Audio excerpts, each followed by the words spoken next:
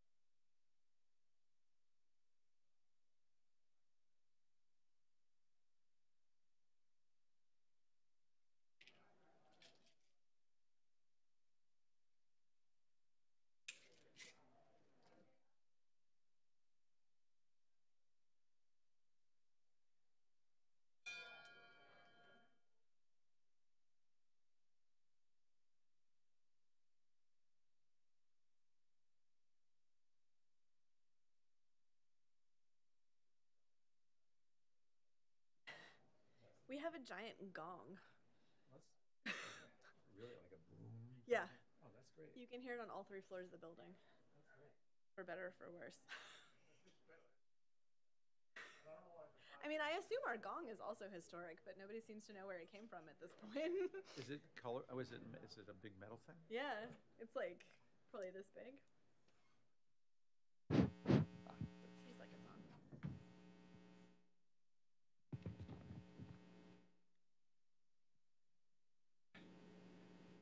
All right, everybody, come on in. Time for seminar.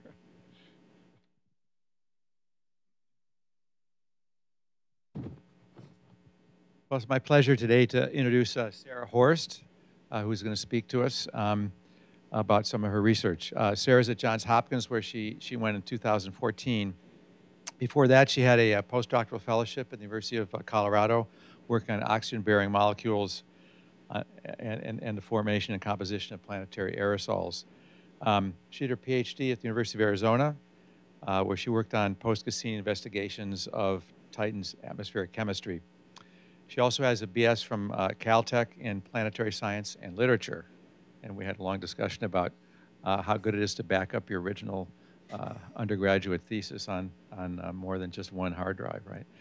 Um, a good lesson for everybody. Today's the title of Sarah's talk is Planets in a Bottle, Exploring Planetary Atmospheres in the Lab. Sarah? There we go. Can you hear me? Ooh, I'm tangled already. Okay, awesome. Um, thank you so much for having me. Uh, I think I finally calmed down from the two and a half hours it took me to get from Baltimore this morning, which I feel like everyone here can appreciate how much fun it is to drive around here. So I'm super excited to be here. Um, before I start saying science things, I just want to quickly um, acknowledge my research group um, at Hopkins, and in particular, I want to um, acknowledge my research scientist, Chao He, um, who did a lot of the experiments that I'm going to talk about today, and also just wanted to acknowledge um, the NASA Exoplanet Research Program that funded um, some of the experiments that I'm going to talk about today. Uh, before I jump into, you know, the details of what we've been doing, I want to kind of start with um, some of the big picture questions that we're interested in doing, and I will at some point explain um, the idea of planets in a bottle, but not quite yet. Um, so we're really interested in answering kind of two big, big picture questions about how planetary atmospheres work. So one of the questions that has driven my research for the last, I guess, 15 years at this point is how far can organic chemistry proceed in an atmosphere in the absence of life? Um, and so one of the reasons that we're interested in answering that question is because we're really interested in understanding the role that atmospheres might play in the origin of life and the evolution of life. And so we need to know what kind of material can be produced in an atmosphere that could then potentially be useful for um, life. And the other question that we're interested in, which is related, is what role does haze play in the habitability of a world? And these two questions are related because haze particles may contain organic molecules that would be important for life. Um, but haze can also really affect the temperature structure of an atmosphere because particles interact differently with light than gases do. And so having a haze layer can really affect um, the temperature structure, whether or not you could potentially, ha potentially have um, liquid water stable on a surface. It will also affect what kinds of photons are getting to the surface of a planet, which could have implications on whether or not um, there could be life on that planet. And so these are kind of the big picture questions that we're interested in. If you're interested in studying organic chemistry in atmospheres um, and haze in atmospheres, um, the best place to try to understand those types of questions in the solar system is Titan. Um, this is Titan from Voyager, and I always like to joke that you too can um, reproduce the Voyager flyby in your own home with an iPhone and an orange. Um, you'll get approximately the same information, although you'll get a much higher resolution image. Um, but this is what we, uh, we learned from the Voyager flyby. Uh, luckily, Voyager was carrying other instruments, um, and in particular, Voyager was carrying an infrared spectrometer called IRIS.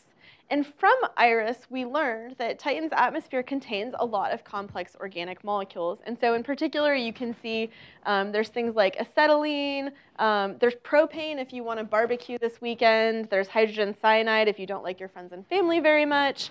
Um, and so we learned that there was this complex organic chemistry happening in Titan's atmosphere.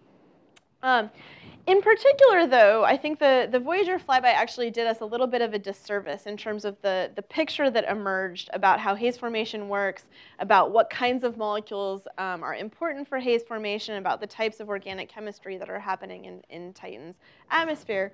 And the reason for that is if you look at the molecules that are labeled here, with the exception of hydrogen cyanide, these are all hydrocarbons.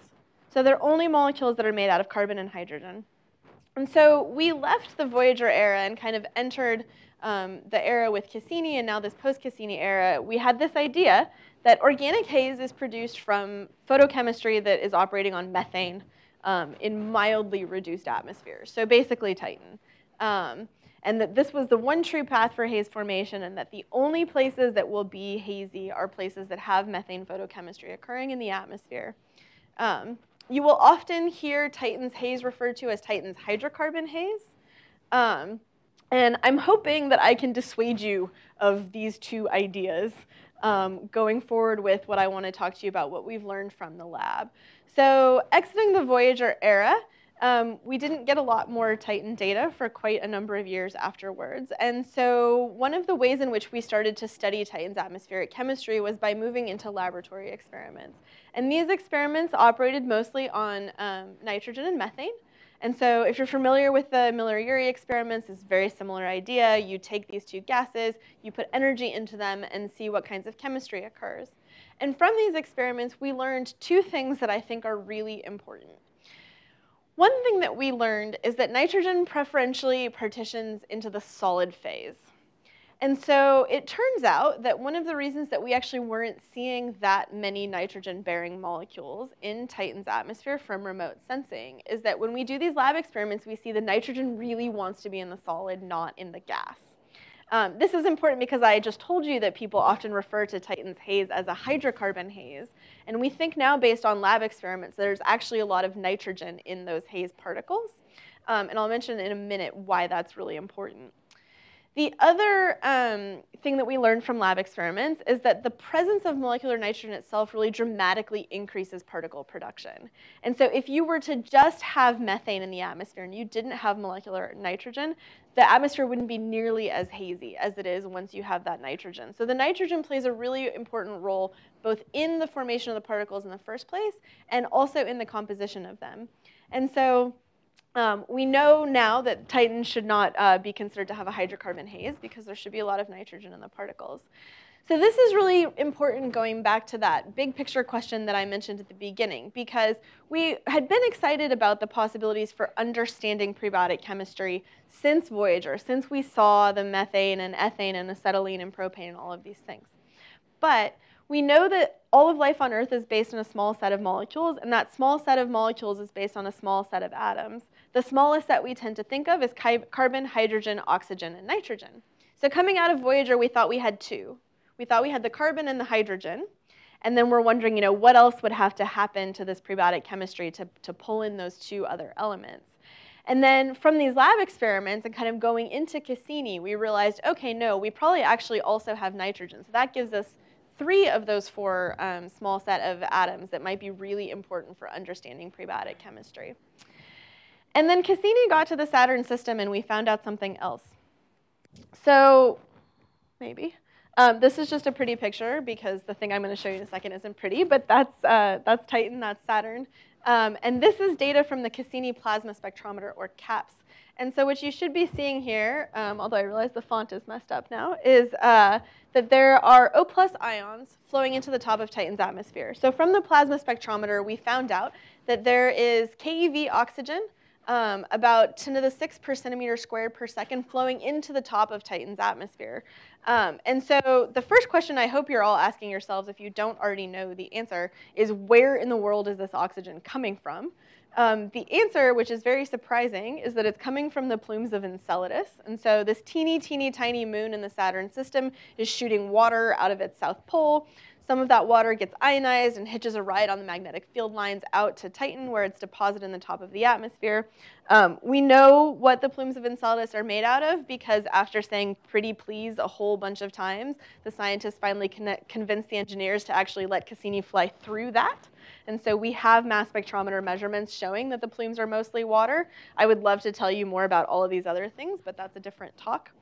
Um, that oxygen goes into Titan's atmosphere where we know it participates in the photochemistry because it turns out that the plumes of Enceladus are actually the source of the fourth most abundant molecule in Titan's atmosphere, which is carbon monoxide. And so we know that the oxygen is participating in the chemistry because we see it forming the CO, and we know that it's going to participate further to form other molecules. And so now we know that we have all four of that small set of atoms actively participating in what we know is really rich organic chemistry in Titan's atmosphere.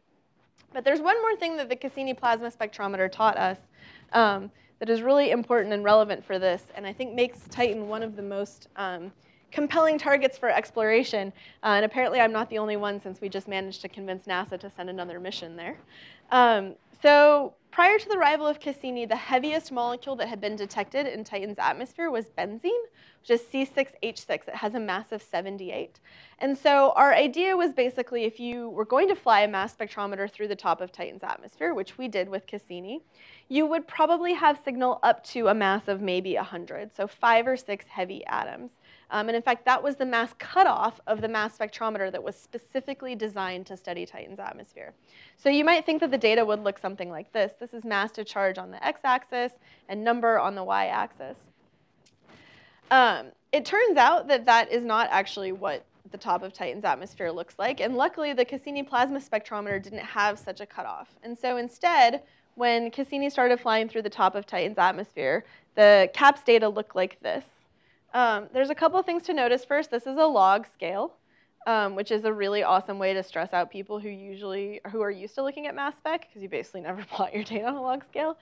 So the Cassini plasma spectrometer discovered that there are ions very high in Titan's atmosphere. We're at 950 kilometers above the surface at this point that have a mass to charge up to 10,000 AMU.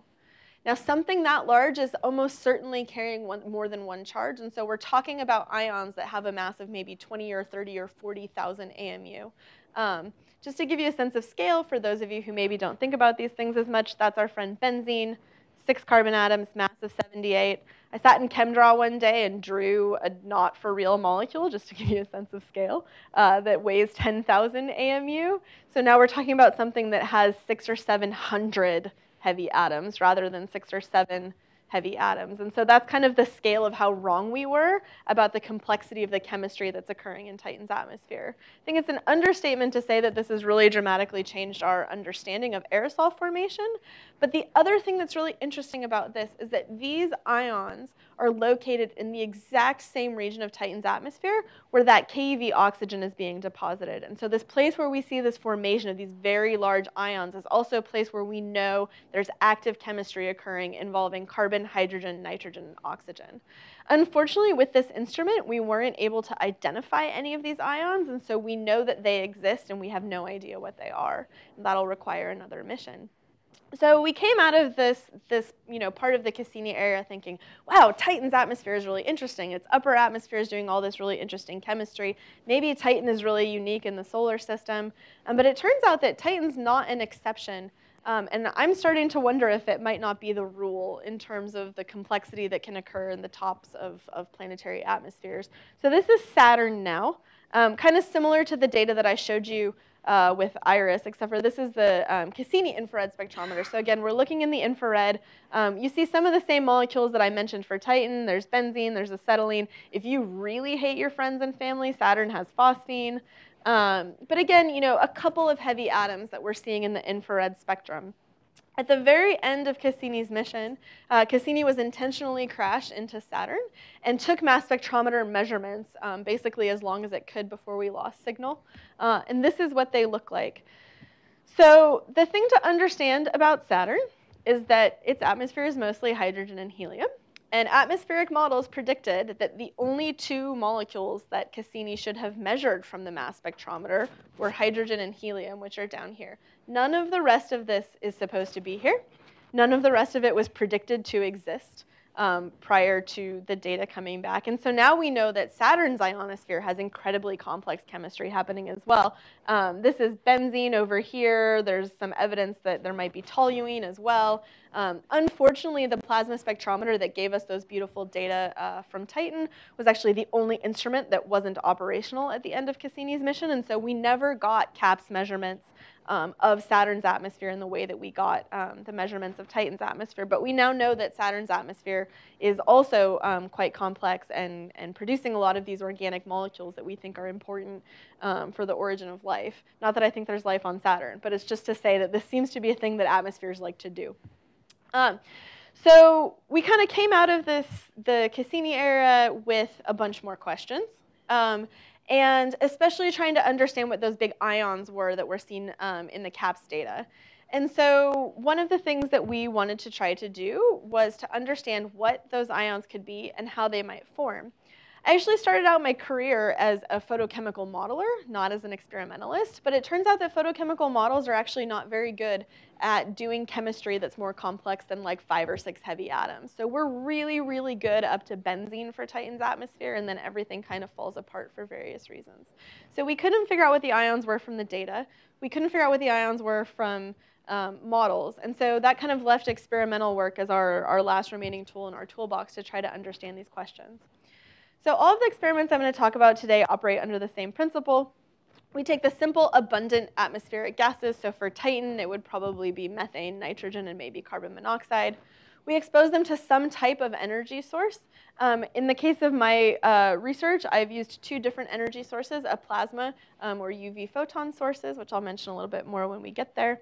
Um, and then you will often, depending on the conditions, make some type of complex organic solid, which then we can look at um, for whatever, uh, whatever purposes we're interested in, depending on the question we're asking. Um, in a little bit more detail, this is a, a, little schematic of the chamber that we've built at Johns Hopkins. We call it the Planetary Haze Research Chamber, or PHAZER. Um, we designed this chamber to be able to access all of the atmospheres in the solar system and a good chunk of the atmospheres that we think are interesting for extrasolar planets. Um, so we can run experiments from 90 to 800 Kelvin. We have two different energy, energy sources, a cold plasma energy source or a Lyman alpha photon source. Um, and just to give you a sense of scale and what it actually looks like in real life, um, this is an excited exoplanet astronomer um, for scale. That's Caroline Morley, for those of you who might know her. And that's the experiment when it's running. It's about the size of a two liter bottle, and so this is where the idea of planets in a bottle came from. Um, so I'm going to walk you through a couple of questions that we have been um, asking to try to understand um, the broader ranges of haze formation that are possible. Now that we know that this idea that um, you know methane haze formation is, is not the one the one true path, we want to figure out what are the other paths. Uh, and so we put together a couple of questions to try to investigate that, particularly looking at the effect of oxygen-bearing compounds. Um, my apologies for the fact that my slides have decided to be modern art. Um, so one of the first questions that we asked was, what is the effect of carbon monoxide on haze formation and also its composition? And the reason for that is this discovery of these oxygen ions flowing into the top of Titan's atmosphere. We wanted to investigate the role that CO might play.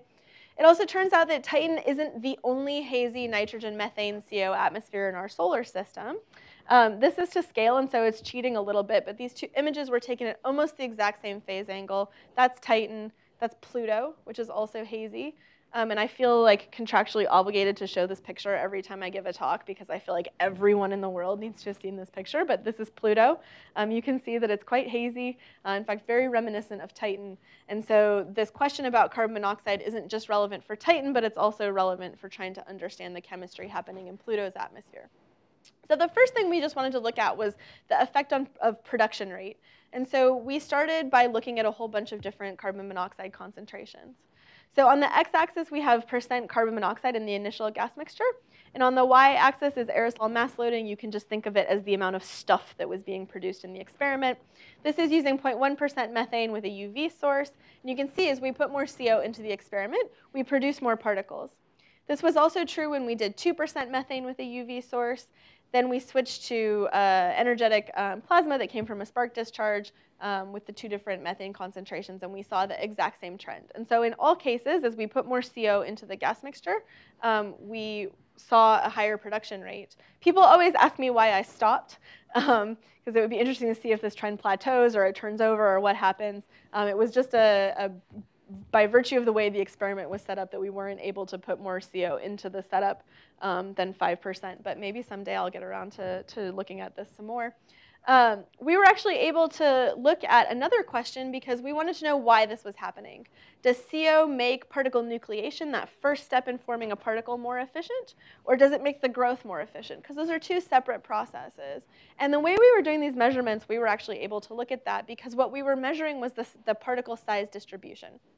So this is a example of the actual measurements. And so this is the particle size distribution. Uh, with 2% methane, we have particles that are, that are um, about 20 nanometers in diameter. Um, if you add 5% CO to the gas mixture, this is what the particle size distribution looks like instead. Um, and so not only do you have more particles, but we also have particles now that are more like 150 nanometers in diameter. And so we were able to look at both the, the particle size and the particle number density. And what we see, again, CO on the x-axis, and now we're looking at diameter on the y-axis, is that as we put more CO into the gas mixture, the particles are bigger. And so that means that the presence of CO is making growth more efficient.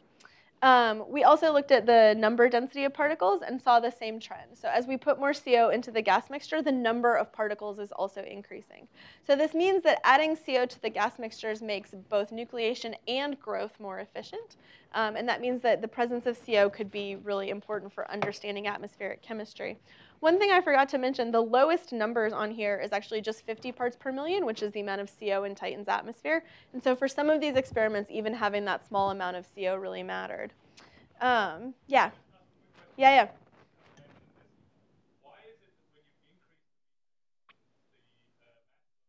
Decreases? That's a, that's a very, uh, that is a very wise question. Um, I'll show some more of that data if I have, if I have enough time to talk about the early Earth experiments. Um, most, if not all, of the experiments that use methane around the world, there's maybe like six groups that do this type of work, um, have shown that there's a peak in the methane concentration um, where you get peak production. Um, for the UV, the peak tends to be uh, pushed very, very um, to relatively low methane concentrations. You start to end up with a, an optical depth effect um, where you're basically running out of photons to actually build the larger molecules because the methane is taking all of them. Um, so that's what happens. Uh, with the plasmas, it, the peak tends to be at higher methane concentrations. Um, and actually, this is relevant to the next slide that I was going to say.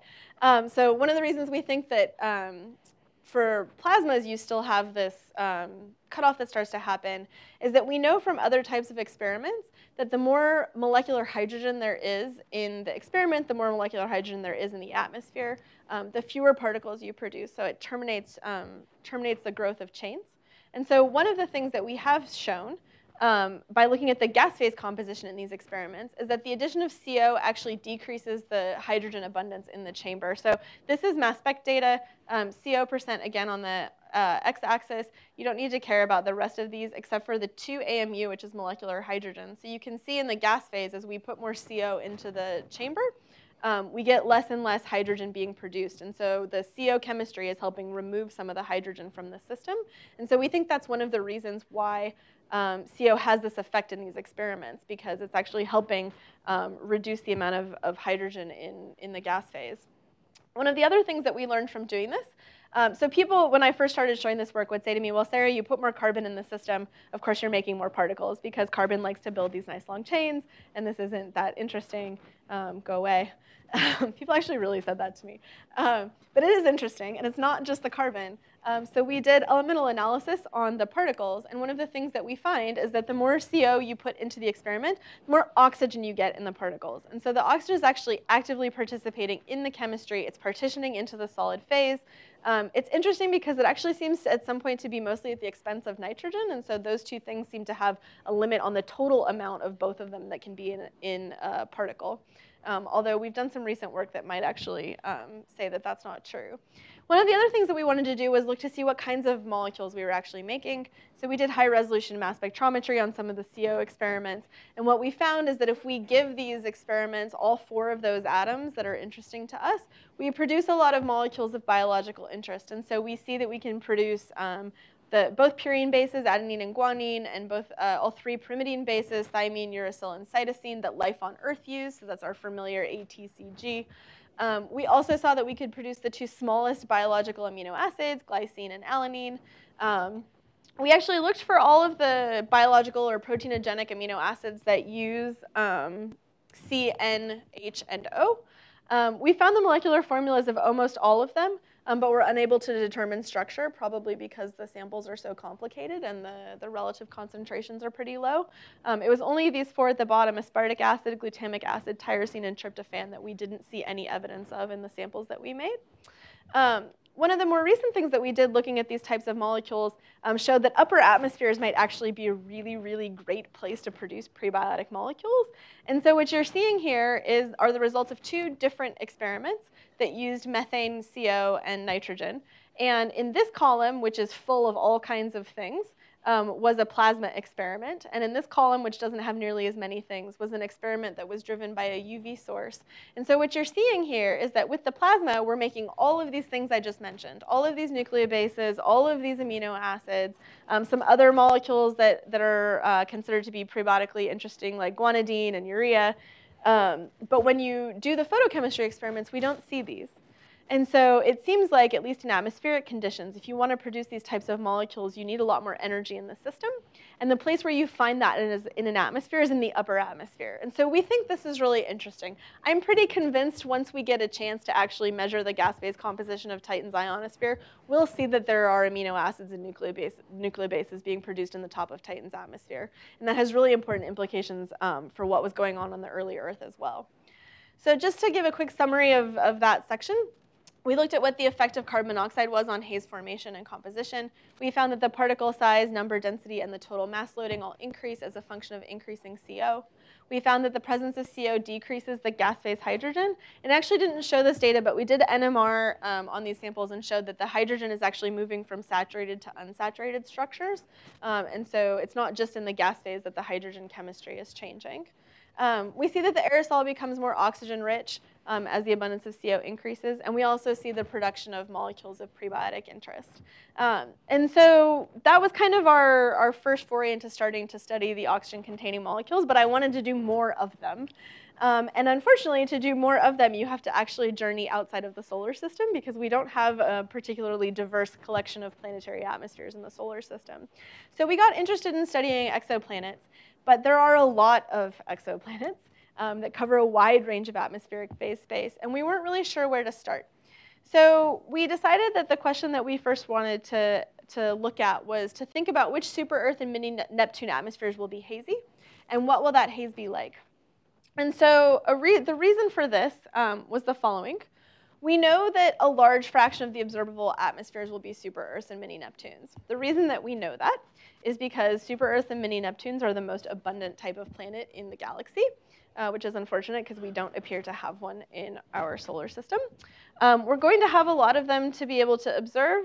Just to give you a quick demonstration of that, this is the predicted TESS yield. Um, you see that most of the planets that TESS will find that we'll be able to observe um, are, are mini Neptunes or super Earths. The other reason we were interested in this phase space is that for the kind of handful of super Earths and mini Neptunes that have um, pretty good atmospheric observations already, um, they're all coming up with what are being referred to as flat spectra. Um, so this is GJ1214b, which is a known problem child in the exoplanet community because its spectrum uh, in the wavelengths that it's been measured is actually consistent with a straight line um, which is not usually how planetary atmospheres work. But this indicates that there is probably an aerosol absorber of some type, whether it's clouds or photochemical hazes or both in its atmosphere. And so we already know that some of these atmospheres are hazy, and so we wanted to investigate how that might happen. So we built a matrix of, of uh, that spanned pretty large composition space because we don't actually have any good measurements yet, so we could sim simulate a real planet. And so instead we wanted to just investigate the phase space. So we went from 300 to 600 Kelvin, and we went from 100 times to uh, 10,000 times solar metallicity. For those of you who don't think about metallicity, you can think about these atmospheres as being hydrogen, water, or CO2-rich atmospheres being the dominant gas. So we did um, all of these gas mixtures, um, both for a plasma source and a UV source. And the first thing that we looked at was the haze production rate. And so we found that there was a wide range of haze production rates, um, spanning about four orders of magnitude. Um, this is not particularly surprising, but it goes to show at least that there will be planets, um, super Earths and mini Neptunes that will have nice clear atmospheres that will be easy to observe their spectral lines and figure out what they're made out of. One thing that was really surprising to us though, this gray line is our kind of standard Titan experiment. Um, and we had two cases the 300 and 400 Kelvin water-rich atmospheres that actually produced more particles than our standard Titan experiment. And so if you can envision a planet that is more hazy than Titan, which is a very perplexing statement, uh, apparently there are some that can exist.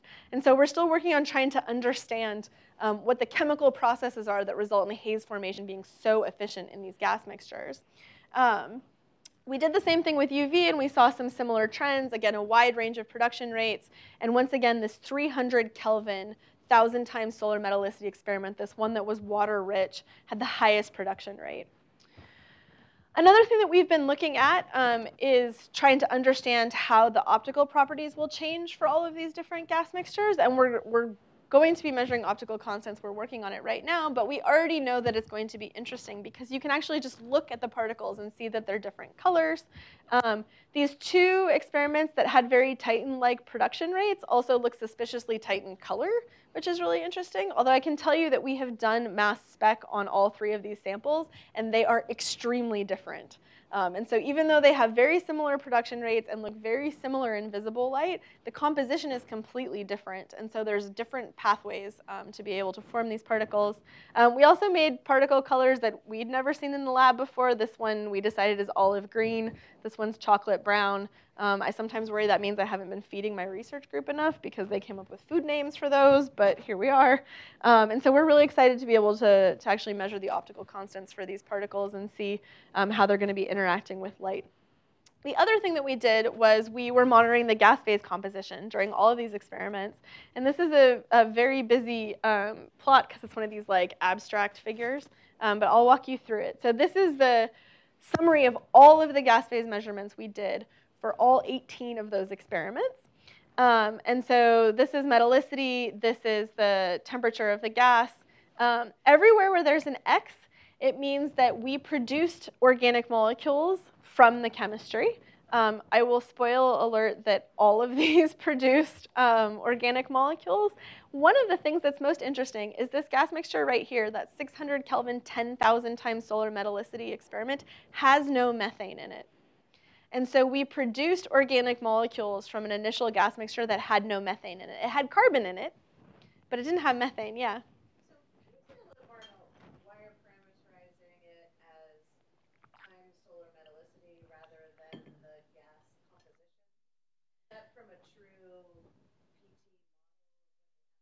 Yeah. Yeah, so the models are equilibrium models that were done by Julie Moses. And so basically what we, so the initial matrix that we set up was simply temperature and solar metallicity. And then she ran an equilibrium model for our starting gas mixtures. So um, it's in equilibrium at the pressure, which I always forget to say. We run at one millibar. Um, and so the gases and temperature and pressure are self-consistent in equilibrium with each other at one millibar, which is the region of the atmosphere where we think haze formation starts um, in most atmospheres. Um, we would love to actually have real atmospheres to work with, but we don't have um, good data yet. Um, but the main reason that we used metallicity as our proxy is because that's the way astronomers, that's one of the ways that astronomers think about exoplanets right now. Um, I don't like thinking about them that way, but that was what we did. It also gave us a nice region of phase space in terms of um, in terms of uh, you know redox state, basically. I don't know if that answers your question or not. We can talk about it more if it doesn't. Um, so we saw organic molecules in all of the experiments. Um, the stars um, are the abiotic production of molecular oxygen, um, which we see in a lot of the experiments, particularly um, the 10,000 times solar experiments. Um, this is really interesting because we're seeing the production of molecular oxygen in the presence of organic molecules, which is something that people often suggest as being um, a potential biosignature.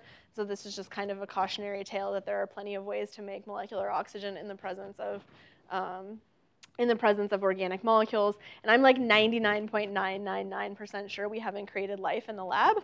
Um, I would gladly accept our Nobel Prize if we did. And so um, we just have to be careful about that. And then these triangles are the presence of what we um, labeled prebiotic precursors. So these are molecules that people often talk about um, as being important for prebiotic chemistry. So they're things like um, formaldehyde, acetonitrile, um, we see the formation of those in most of the experiments, and in fact, the only ones that we don't see them in are these very reducing gas mixtures that were dominated by molecular hydrogen. Um, so just to give a quick summary, we looked at a bunch of different super Earths and mini Neptunes. Um, we figured out that the water-dominated cases produce substantial amounts of particles. Um, we know that these particles all are going to have different optical properties because we can see that they're different colors when we look at them with our eyes. Um, metallicity and temperature both appear to matter, although the way in which we built that matrix, which I just described, makes it hard to actually investigate those two things independently. Um, that's something that we're working on more now. And we see the production of organics and O2 um, simultaneously in the gas phase.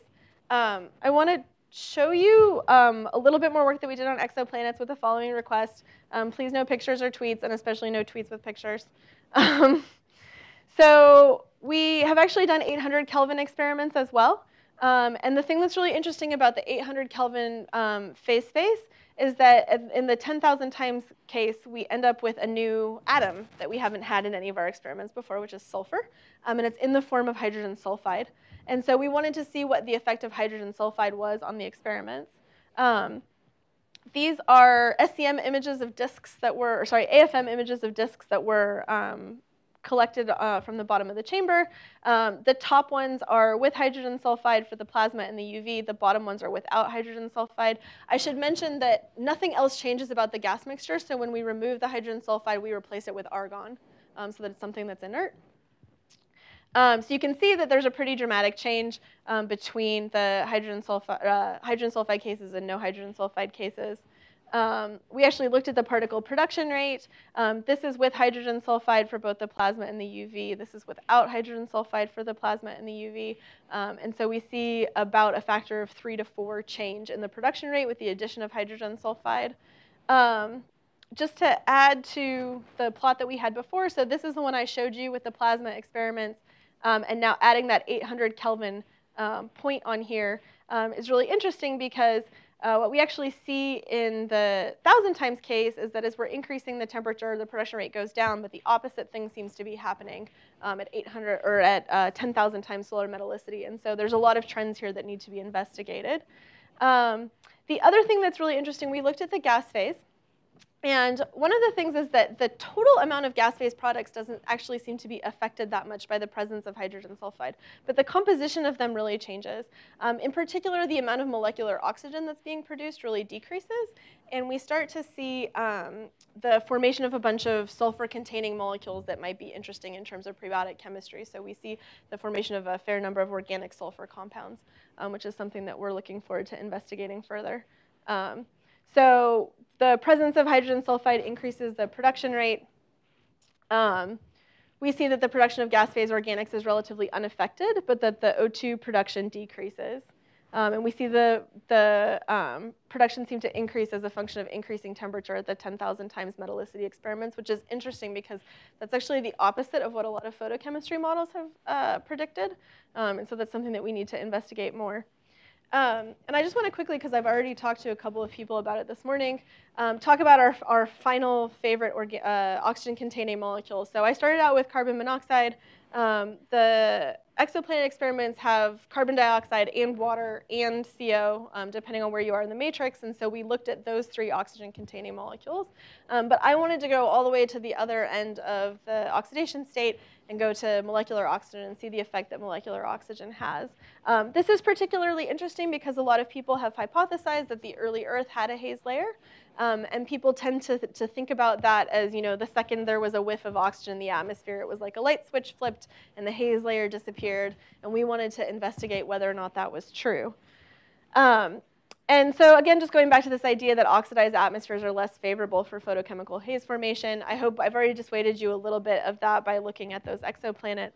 Um, but not all oxygen-bearing molecules are the same, and so we wanted to look at the effect of O2. So I'm going to walk you through a series of experiments that were kind of complicated, and so we're going to do it stepwise by adding one gas at a time. So first, we're just going to be looking at methane and nitrogen-containing um, gas mixtures. Um, and so you can see we did a wide range of methane concentrations, and you see a range of production rates. We're in total volume now, which is just, again, a measure of how much stuff there is. Um, to give you a sense, and this was the trend that I referred to um, earlier when asked about the methane concentration, in this particular experiment, the aerosol production actually peaks at about 100 parts per million methane, which um, we'd shown from previous work. And so all of these points are actually um, right around, uh, except for the 19 part per million, right around the peak aerosol production in terms of the amount of methane in the experiment.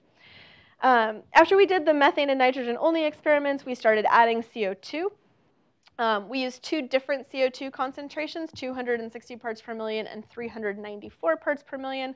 Um, we see what had been demonstrated in a lot of previous experiments, including things like Miller-Urey. The more CO2 you put into an experiment, the fewer particles you get, um, which is the opposite of the trend that we were seeing with CO. So again, not all oxygen-bearing molecules are the same, but we were happy because this was consistent with what had been previously seen. Um, and then we started adding molecular oxygen to the gas mixture. So this is going to flatten back out. Um, so here's our methane-only experiments, or methane-nitrogen experiments. These are the methane, um, nitrogen, CO2 experiments. And then we added um, a wide range of oxygen concentrations. So one of the first things that I want you to notice about this um, is as we put small amounts of molecular oxygen into the gas phase, um, all of the production rates increased for all of the different experiments we were looking at. So a little bit of molecular oxygen actually makes haze formation more efficient, which is interesting. Um, and then as we put more and more into the experiment, um, it decreased exactly the way everybody kind of thought that it would, um, that having that O2 would really dramatically decrease the haze production rate. Um, to give you a sense of what these numbers mean, um, this is our standard Titan experiment in this particular setup. Um, and so actually a lot of these, ex these uh, experiments had more particles than Titan. Um, this is what the air looked like in the lab one day. Um, so you can see that it's not particularly hazy, uh, but if you actually measure it, there are some particles. Um, but then you might say to me, well, Sarah, these production rates are super low. Um, and while that's definitely true, we were absolutely generating particles because this is what the exact same experiment look like when we ran the gas mixture all the way through every piece of tubing, everything else, and into the instrument without turning the energy on. Um, and so in every single one of these experiments, even with those very large amounts of oxygen, we were producing particles from these gas mixtures. Now, one thing I want to emphasize about this is that in all of these experiments, there's more CO2 than methane. So we've already pushed ourselves into the regime where particle production isn't as efficient. And in a number of these experiments, there is more molecular oxygen than methane, and we're still generating particles. Um, so that was really interesting. But then things got more interesting we found that as we add O2, we end up uh, creating really efficient nitrogen fixation. And so these are two different experiments. This is the 158 parts per million methane, 394 parts per million CO2. The green um, is mass spec of the particles with no molecular oxygen, and the blue is mass spec of the particles with 20 parts per million molecular oxygen. You see the shift in the types of compounds that we're making um, really strongly towards the, for the formation of nitrate um, which was really surprising to us, um, but has now been reproduced and also seen in the gas phase. So that was really interesting. Um, and then the other thing that we found, um, and if you like optical constants, feel free to look at this table, and if you don't, I'll tell you what it all means. Um, but when we looked at the optical properties of the particles, what we found was um, you know, I showed you the kind of Titan-like particles, the really famous like orangey brown stuff that likes to really strongly absorb light. Um, we can transform those orangey brown, very absorbing particles into things that are like teeny tiny mirrors that reflect every photon that interacts with them by putting small amounts of oxygen in the gas phase. And so the, the addition of oxygen basically results in particles that don't um, absorb photons at all. And so this would really dramatically affect um, the way that they're interacting with light and what effect that would have on the temperature structure um, as the composition of the haze layer was changing. Um, and so just to summarize quickly the oxygen story, with relatively small amounts of methane, we produced aerosol in the lab with up to 200 parts per million oxygen present in the gas phase, so that's more oxygen than methane, which is very perplexing. Um, as the O2 concentration increased, the aerosol became increasingly oxygen and nitrogen rich, so we saw this increase in the efficiency of nitrogen fixation. Um, the addition of oxygen result. Oh, I just said that. the addition of oxygen also results in particles that are non-absorbing. Um, and I realized there was one thing I forgot to mention. Um, those gas mixtures may have seemed oddly specific, like 394 parts per million uh, CO2. Um, in this particular case, the gas mixture combinations um, were the outputs of a model looking at what the mantle composition would be. And so the assumption here is a lot of our trace gases are being outgassed either um, from the seafloor or from volcanoes um, during that period of Earth's history. And so that was what we wanted to um, investigate in terms of our, our sources there. Um, so just to quickly summarize everything I've told you uh, into hopefully one coherent story. We started out with this idea from the Voyager encounter and from the science done around the Voyager encounter that organic haze is produced from methane photochemistry in mildly reducing atmospheres, that this was the one true path. These were the only places that would be hazy. Um, this meant, for example, we weren't going to have to worry a lot about a lot of exoplanets because most planets won't be hazy. Most planets aren't like this. Um, I think what we now know um, from the years of experiments that my group has been doing and from work that a lot of other groups have been doing that there are actually very many paths to the generation of photochemical hazes. Um, there appear to be paths that actually don't require the presence of methane at all, um, which is fascinating we know that oxygen-bearing molecules um, each play a really unique role in haze formation. Some of them increase haze formation, some of them decrease haze formation. Um, in all cases, they really dramatically affect the composition of the particles, which then can affect the way that they interact with light, um, and will also uh, affect how useful they might be in terms of prebiotic chemistry. Um, we, know, we know now that oxidized atmospheres may also actually be favorable for haze formation. There'll be different kinds of particles, um, but particles nonetheless. Um, and then kind of thinking back to the, the Earth example, um, one of the things I think as planetary scientists we try to avoid thinking about is that planets aren't static. Um, and that even if we figure them out in like one moment in one period of time, they're doing all kinds of other things both before and after that. Um, and so as the planet's atmosphere evolves, which, which atmospheres all do through escape processes, uh, for example, its haze will evolve too. Um, and so planets may have a haze layer at some point in their history or many points in their history. The composition may be different depending on when that is.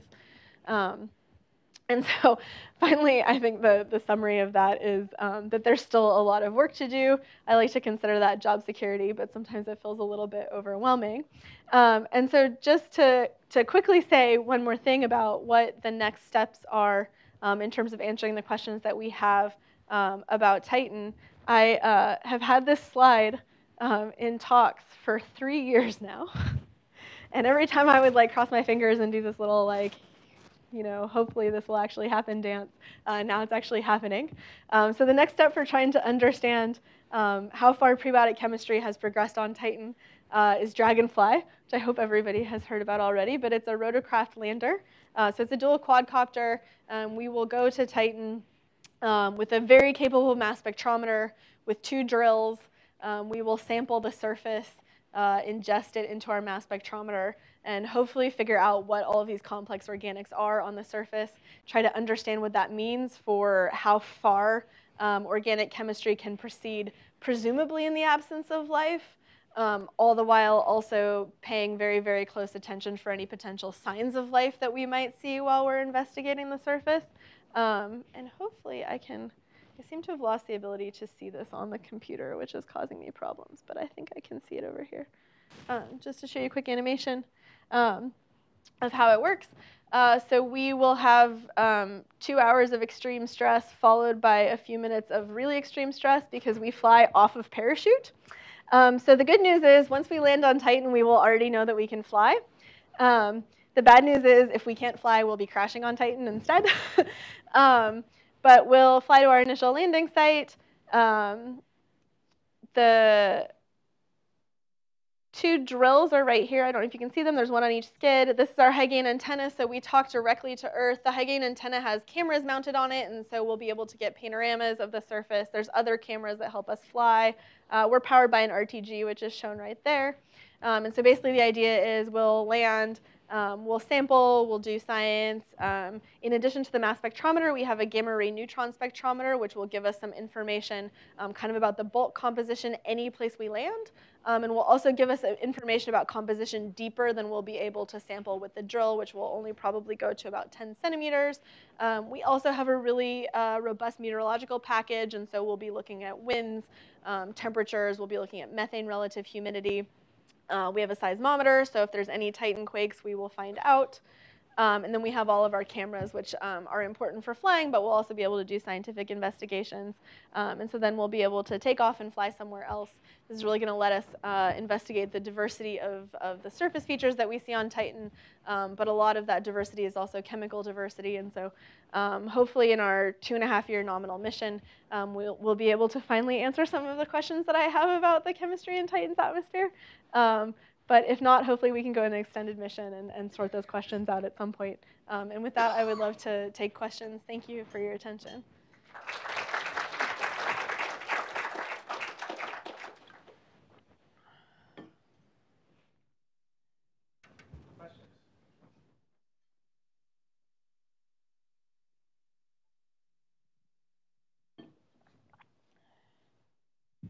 Great talk. Um, for the for Titan for the okay going back to your carbon monoxide Yes. uh, experiments. So you showed that you that carbon monoxide plays a huge role in making these heavier aerosol things. Yeah. But you, al- I think you also said that the oxygen for that is coming as high energy oxygen ions from Enceladus. Enceladus, yeah. So how does that become carbon monoxide to participate in the chemistry? Yeah, that's a really good question. um, it's through processes involving methane photochemistry, and so basically the oxygen ions come in. Um, they're you know they're they're relatively energetic. They're KeV, and so it takes them a little while to stop. In the process of stopping, they lose their charge, um, and so they end up basically as um, as O3P, which is super reactive. Uh, and so it ends up reacting with some of the products of methane photochemistry, eventually making CO. CO is super stable. It's the it's basically the most stable molecule in Titan's atmosphere besides nitrogen, right? They're isoelectronic, so they're both very stable. Um, so the CO can build up in Titan's atmosphere over time. Um, depending on what Enceladus is doing. And so actually the chemistry is really interesting to me, and we haven't had time to investigate this further, but I think the CO actually acts as a clock um, on what Enceladus has been doing and also um, on the age of Titan's atmosphere, which is one of our outstanding questions. Um, one of the things that's really cool that we need to think more about now is we have actually really great um, oxygen isotope measurements for the CO in Titan's atmosphere from ALMA. Um, and so we actually have the first detection of 17 oxygen in the outer solar system from ALMA in the CO in Titan's atmosphere. So we have all the oxygen isotopes um, for Titan's atmosphere, and we have some isotope measurements from the mass spec um, data from Enceladus. And so I really want to um, spend some time actually thinking about the modeling of that, of the chemical processes that you're asking about, um, not because of the more complex chemistry, but because of a bunch of other questions that we have about the origin and evolution of Titan's atmosphere.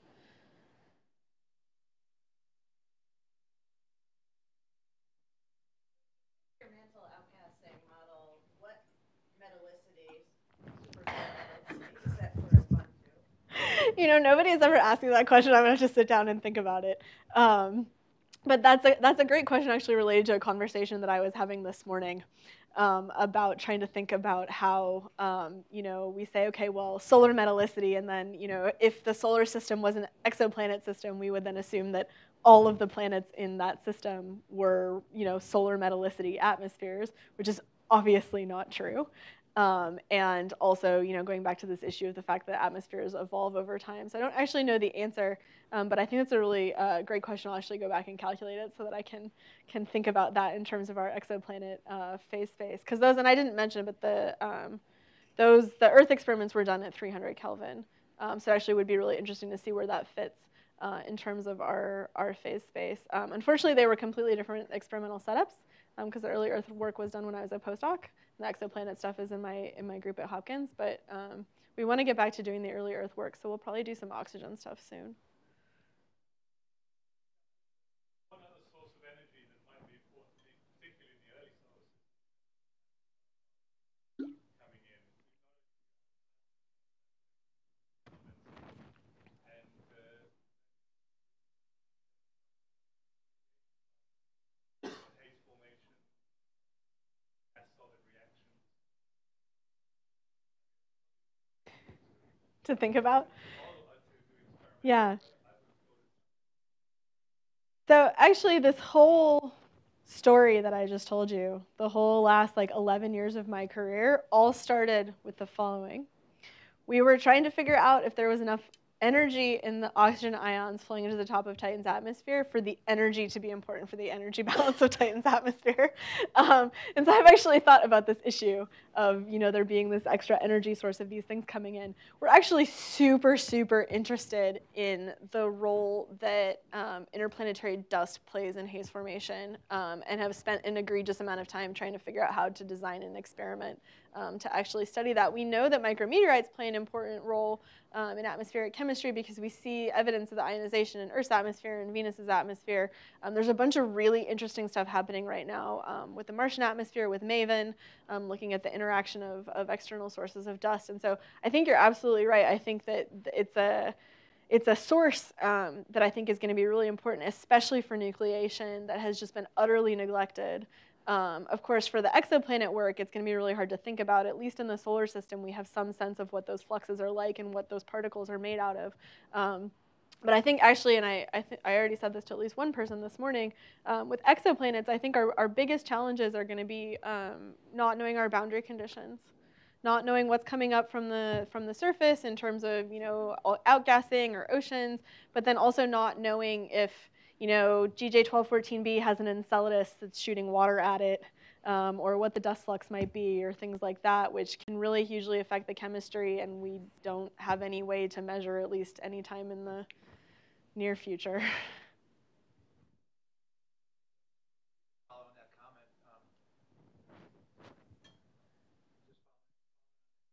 Um, is there any way to build substrates into your experiments? You have a lot of interesting gas phase interactions going on, but what about mineral surfaces or liquid surfaces? You people know like all of my secrets. uh, we put in a proposal to do exactly that. Uh, it didn't get funded.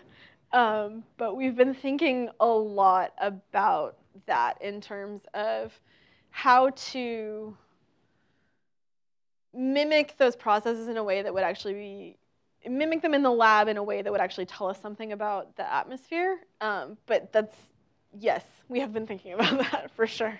Yeah.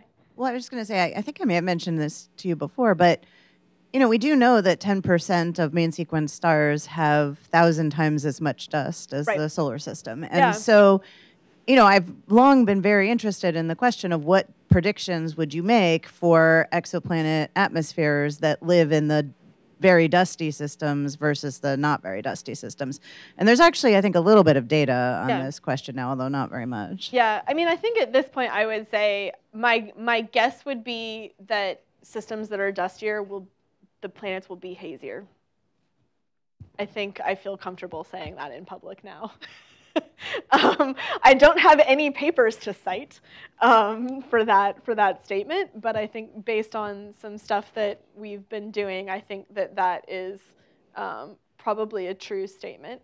It would depend in part on the composition of the dust, um, but I think for the most part, as like you know, kind of an average, um, if there is a higher dust flux into the top of the atmosphere, it's that planet is more likely to be hazy for a given composition. So you showed that uh, the haze production rate goes down with oxygen? With molecular oxygen, molecular yeah. Oxygen. So would you go far to say that planets with large surface water reservoirs have clear atmospheres in general? Ooh. I don't think I would go that far. Um, I mean, the thing that planets with large surface, oh, this might be a dangerous statement I have to think about. It. It's hard to think on your feet about weird other planets. Um, I think that, so the most efficient removal mechanism for particles in an atmosphere is rain. Um, and so the easiest way to have a clear atmosphere is to live on a planet where it rains.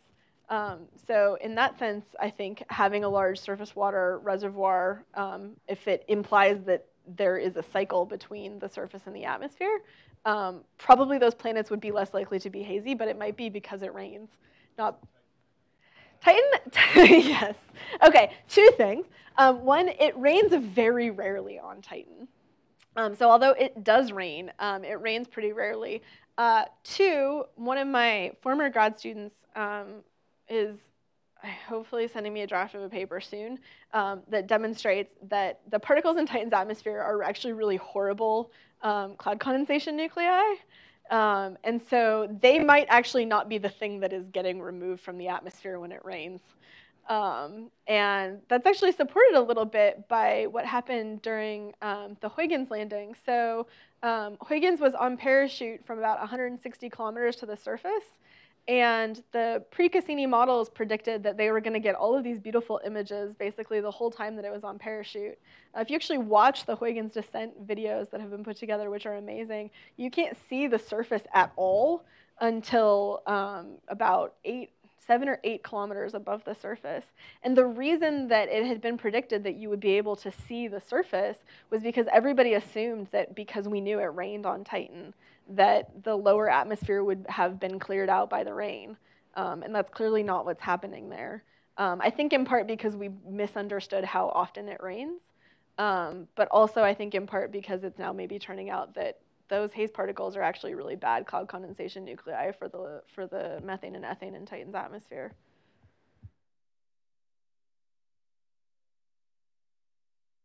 In terms of the effect on the um, production rate for the haze particles, yeah, um, I don't, I'm still trying to understand. So the one flaw that, I mean the one flaw, okay, there's a lot of flaws in the experiments that we do.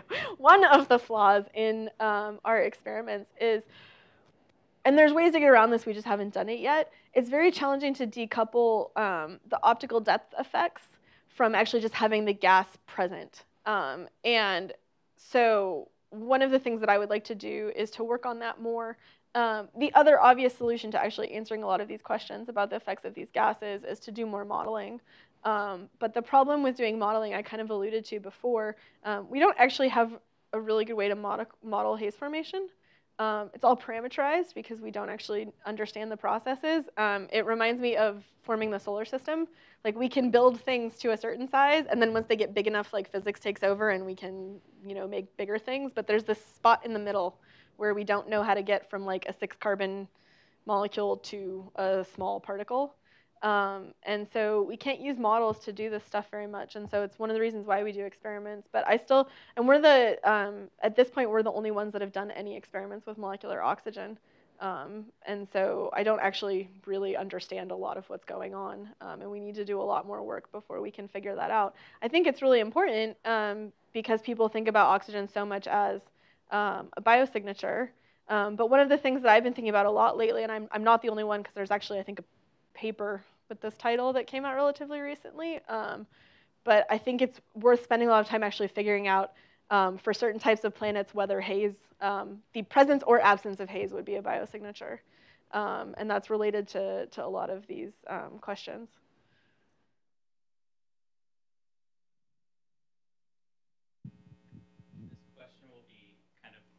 completely out of left field, and I have no idea if you've ever thought about this, but there's a strange observation on the Earth that the xenon isotopic composition of the atmosphere has changed through time. And one hypothesis of how this happens is um, interaction of heavy xenon ions with organic haze. Mm-hmm. I don't know if is this something you've ever encountered, and do you have any thoughts or ideas about it? So I feel like, um, as far as I understand it, like magnetic fields get blamed on a lot of things in certain areas of astronomy, and and dust gets blamed on a lot of things, and I think in planetary atmospheres, haze is like the culprit when we don't understand things.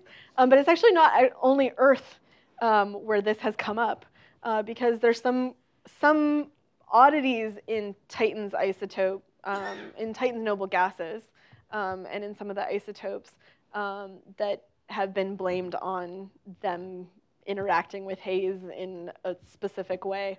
Um, I don't think we actually believe the work that was done for Titan. I've never looked at um, any of the conversations um, to do with Earth. Um, I can't think of a reason off the top of my head why that would happen, but that doesn't mean that it wouldn't. Uh, but people have certainly thought about it for places other than Earth. The people hypothesizing it are mantle geochemists, not necessarily atmospheric chemists. So, I mean, All right, are there any other, if there are no other questions, let's uh, thank uh, Sarah again for a very stimulating talk.